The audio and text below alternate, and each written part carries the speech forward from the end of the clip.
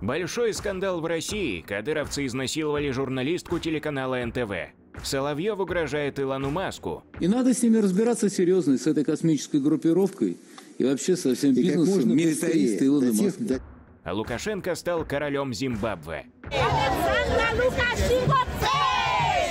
Это горячие новости, все самое важное в одном дайджесте.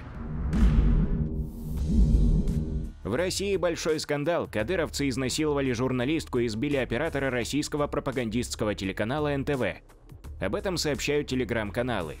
Инцидент произошел во временно оккупированном Мелитополе. Съемочная группа приехала в Запорожскую область для освещения так называемой специальной военной операции. Вечером в ресторане отеля на них напали рашисты в камуфляже, которые представились бойцами батальона «Ахмат». В результате у оператора травмы средней тяжести, а журналистка изнасилована. Соответствующее письмо об инциденте уже появилось в сети. Пострадавшие обратились в военную комендатуру. И что вы думаете, им отказали в открытии уголовного дела? А что здесь такого? У рашистов изнасилование – это национальная традиция. Соловьев поднимает ставки, кремлевский слуга заговорил о новом противнике, дорогу ему перешел Илон Маск. Они работают на том же самом Илоне Маске, который давно уже стал милитаристом и, в принципе, является военным преступником.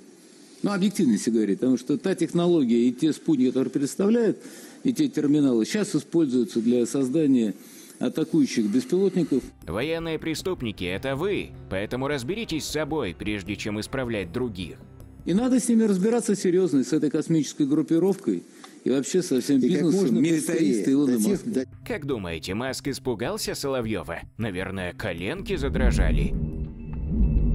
Будете валяться на помойке. С такой мотивирующей речью выступил перед российскими школьниками депутат городской думы Роман Вереин. СМИ информируют, что в Рязанской области в Касимове провели урок профориентации, на который пригласили учеников 9-11 классов. Вероятно, дети слушали не сильно внимательно, и депутат решил рассказать им про будущее. Три дня жрав сидел когда-нибудь? Без копейки денег неделю сидел? Нормально? Когда через некоторое время кто-то из вас окажется под экономическим плинтусом, на днище социальной жизни будет валяться на помойке,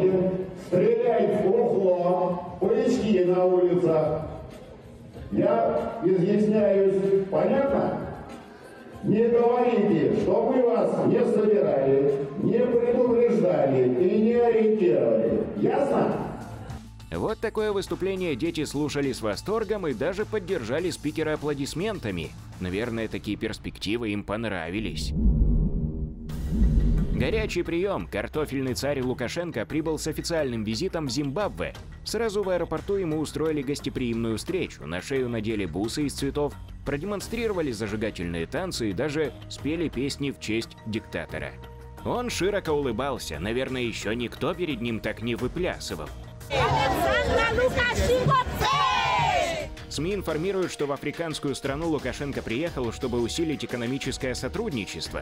Усеты планирует поставлять туда сельскохозяйственную технику.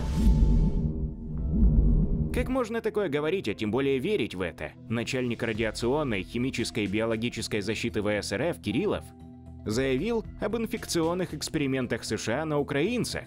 Эксперименты связаны с ВИЧ-инфекцией, которые проводились американскими специалистами на территории Украины с 2019 года. Список подопытных уже не удивляет. Не только пациенты с высокой степенью риска заражения, осужденные или наркоманы, но и представители вооруженных сил Украины. Ну и как без наркотиков.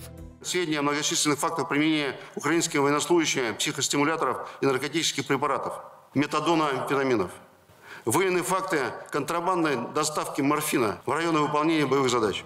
Мы вашу тактику давно знаем. Делаете вы, а по телевизору рассказываете, что это кто-то. Почему же не признаетесь, что это ваши оккупанты под наркотой воюют? Ваших воинов же только под кайфом можно заставить идти насмерть. Америка – страна-террорист. Именно с такими лозунгами в Москве школьники встретили нового посла США Лин Трейси.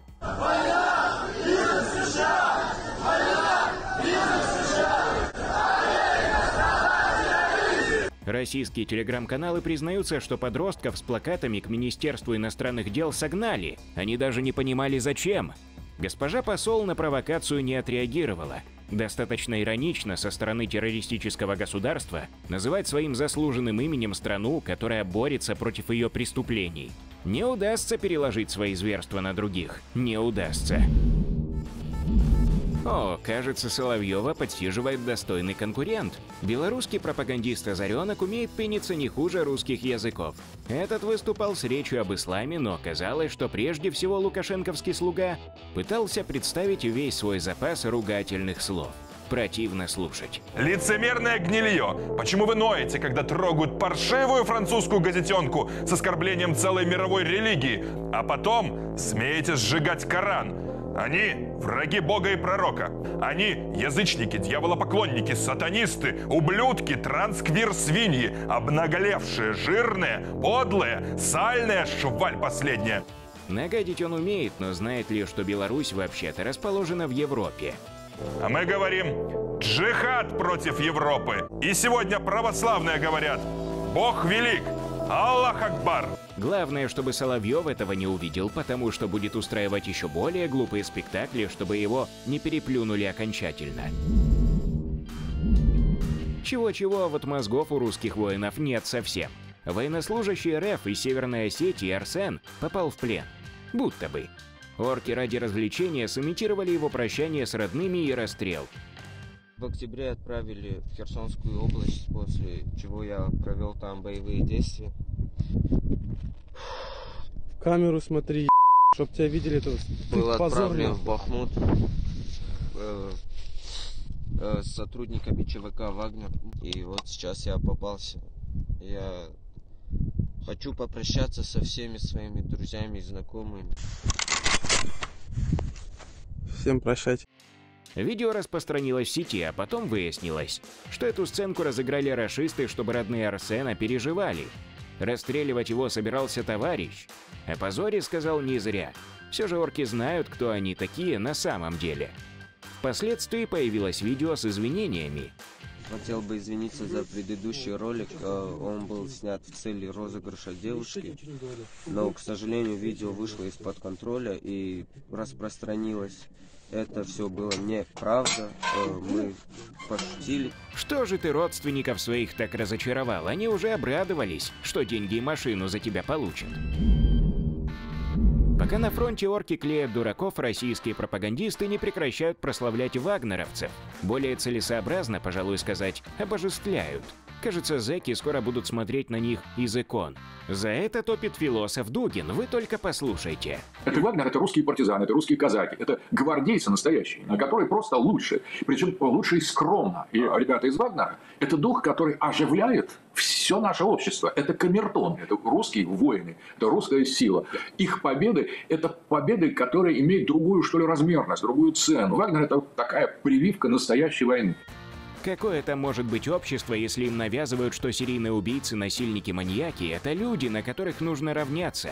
Скоро Россия станет сплошной тюрьмой, в которой будут рожать и воспитывать зэков-убийц. Они говорят, мы убиваем для, для победы, для России. Этот принцип вообще не надо, э, кажется, распространять на, на наше общество. Должна быть вагнеризация, вагнеризация России. Это надо э, максимально культивировать. Это и искусство, и талант, и, э, и мужество делать так, как они делают. Этого дядю случайно не кусал бешеный вагнеровец? Если он так увлекается ими, почему же он еще не стал вредой фантастического сброда Вагнер? Путин так увлекся своей безумной войной и освобождением, что даже не заметил, как его начали кусать его любимые пенсионеры. Это ему нужны Луганск и Донецк, а им, оказывается, нет. Бедная Россия Да. оплачивает всех, но только не своих пенсионеров. Скажите мне, с какой стати Луганск и Донецк получают нашу пенсию? Ну, ну вот российскую. это Мне вот- это непонятно. Мне ни одной подачки не было. С женщиной немедленно нужно воспитательную работу провести. Это что, она своего диктатора только за деньги любит?